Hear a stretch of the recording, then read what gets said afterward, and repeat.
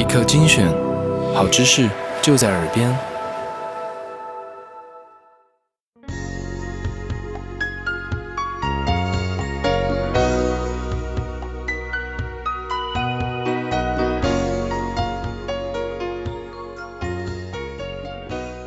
Hello，我是罗庆颖。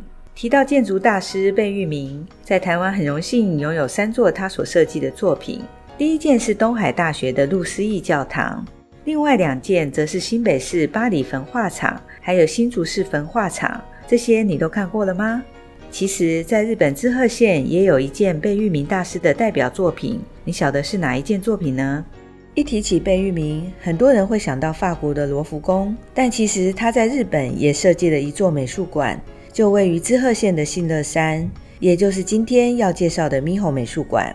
这是贝聿铭大师在日本的唯一作品。他曾被美国《时代周刊》选为全球十大建筑。身为一名华裔美国人，贝聿铭想在日本建造一件充满东方意象的作品，所以选择了陶渊明的《桃花源记》作为设计上的主轴。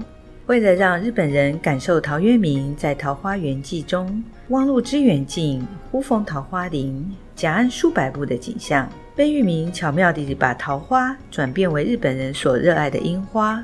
如果在春天樱花盛开的时候造访，一进到美术馆，便会被粉红的枝垂樱所吸引。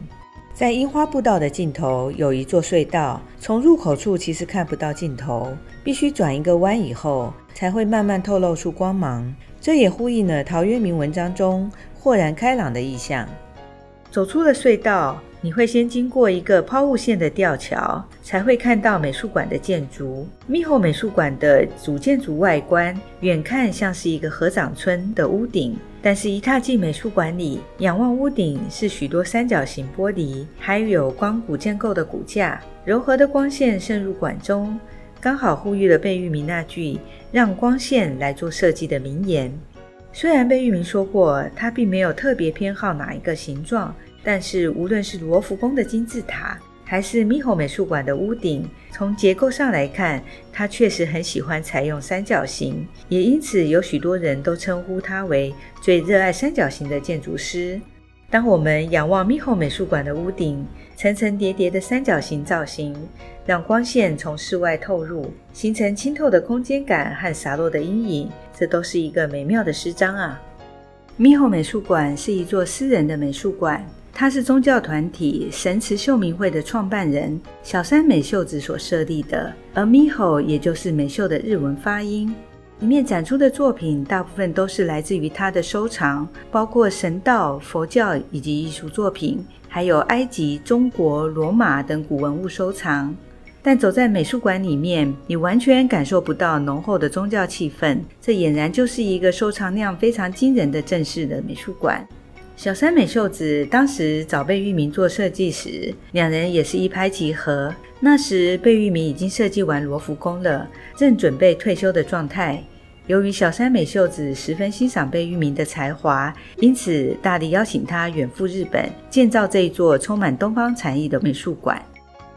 猕猴美术馆不止在建筑上十分成功，里面也有非常值得推荐的作品。其中一个堪称馆方重量级的收藏，就是西元前一千两百多年前的埃及荷鲁斯神像。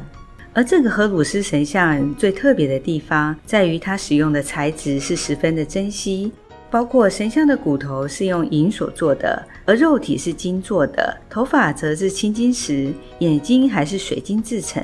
推测这应该是埃及高级神官所拥有的雕像。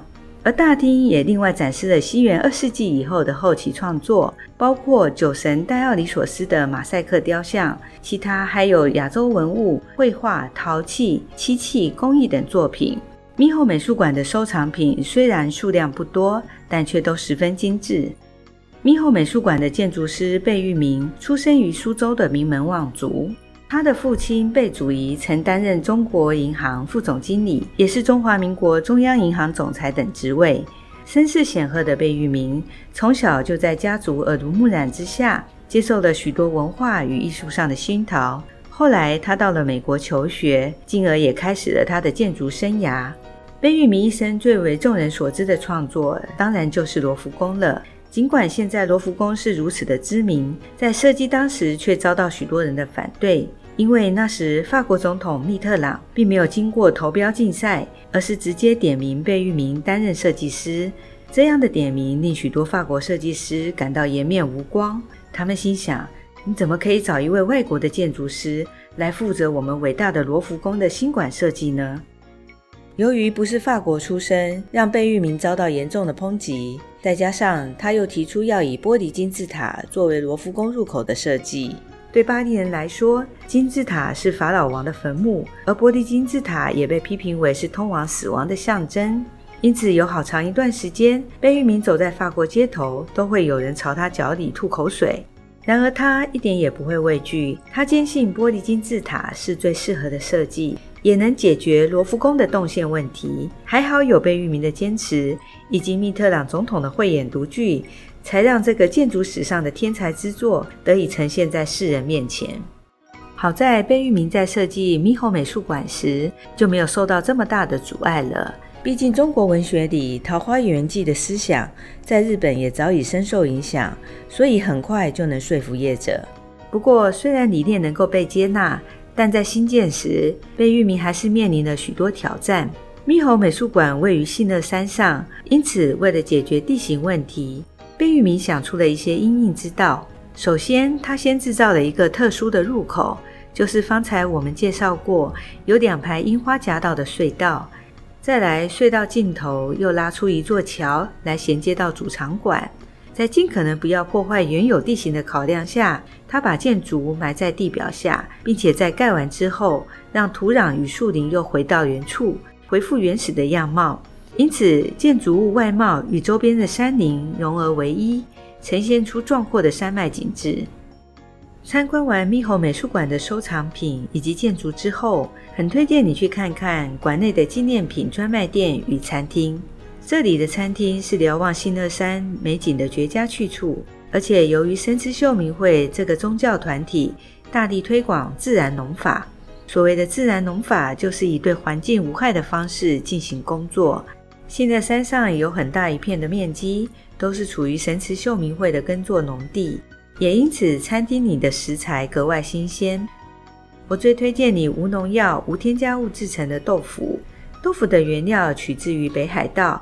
而盐卤则是来自冲绳的宫古岛。很特别的是，这里的盐卤浓度高达十七度。而十七度的盐卤所制作成的豆腐有什么特色呢？来，我先给你一个概念。据说，如果是日本豆腐名店所制作出的豆腐，盐卤的浓度大概十二三度，因此一旦到了十五度，就已经相当好吃了。而十七度盐卤所制作出来的豆腐，吃起来的口感更是十分绵密，让人感觉完全不像是豆腐的味道。若时间许可的话，你不妨在此停留，品尝一下餐厅的美食以及欣赏美景。至于纪念品商店，则贩卖了一些石器、生活杂货，还有书籍，相当推荐你馆方原创限量的猕猴瓶装葡萄酒。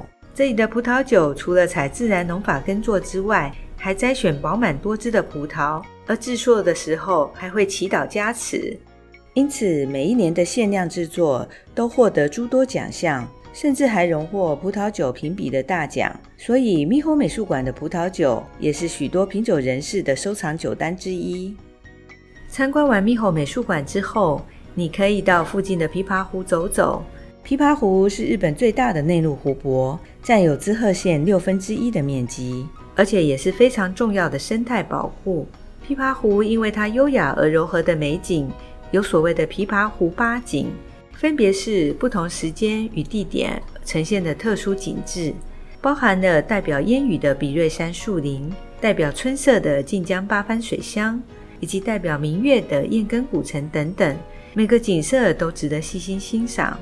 琵琶湖除了可以在陆地赏玩，也很推荐你乘船游览美景。这里最有名的观光船名叫密西根号，可以浏览琵琶湖的美丽景色，在现场音乐的演奏下，同时还能享用丰盛的西式餐点。而琵琶湖八景之一的燕根城是日本四座仅存的木造城堡之一，已被列为日本国宝，可以看到日本古代城堡的建筑风情。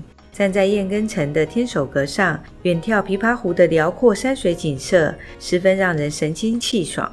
琵琶湖自古以来也是日本历史悠久的近江流产地，近江牛更与松板牛还有神户牛并称为日本三大河流之一。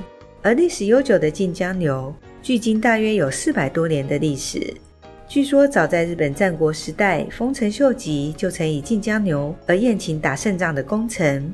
等级高的近江牛，肉质的霜降程度也非常的饱满。不仅油脂柔软，吃起来更是入口即化，是许多老饕向往的高级食材。来到琵琶湖一带，不妨去品尝近江牛的肥美滋味。滋贺县这一带也是信乐烧的主要产地。像刚才我们从咪吼美术馆下山，一路就可以看到许多信乐烧的窑烧工厂。信乐烧是日本六大古窑之一，这里的陶器使用附近丘陵的优质土壤。成品呈现出温暖的火红色，是土与火融合下的艺术结晶。说起信乐烧最著名的雕像，那就是狸猫了。狸猫像也是在日本庭园或餐厅常常可以看到的装饰之一。狸猫在日文中叫做 Tanuki，它的意思也代表可以把其他东西都除掉之意，因此深受商家的欢迎，暗喻可以把对手干掉的意思，也就是可以促进生意兴隆。而胖胖的狸猫戴着斗笠，歪着脑袋，拿着酒壶，样子更是非常的可爱。喜欢陶艺作品或是狸猫的人，不妨买一个回家，当成纪念品的收藏。在这一集里，我们就像《桃花源记》里的渔夫，造访了被玉明大师所打造的猕猴美术馆，见证了美妙的建筑工艺，还有品尝自然农法所种出的甜美食物。附近琵琶湖的湖光山色优雅柔和，不同时节造访琵琶湖八景，都能带给你截然不同的感动。走一趟猕猴美术馆的周遭景点，仿佛进行了一场心灵 SPA，洗涤了平日生活里的喧嚣，也让你获得重新出发的勇气。下一集我将带着你走访濑户内海的地中美术馆，敬请期待喽！